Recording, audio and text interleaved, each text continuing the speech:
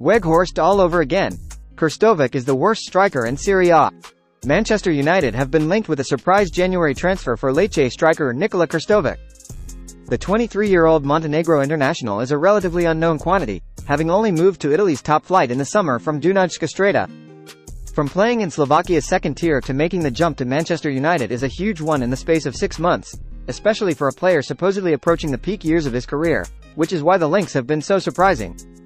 Manchester United need a striker and will probably not have much money to spend come the January transfer window, by which time Sir Jim Ratcliffe and his team are not yet expected to have their feet under their desks, even if an announcement of the deal is imminently anticipated. Is it entirely unreasonable to think that in the space of 6 to 10 weeks, there won't be an overhaul to Man Utd's transfer policy? Last January, when the Red Devils were crying out for a replacement for Cristiano Ronaldo, they insulted the great man by drafting in Wout Weghorst, a player who managed just two goals over the course of his six-month stay, and not a single one in the Premier League.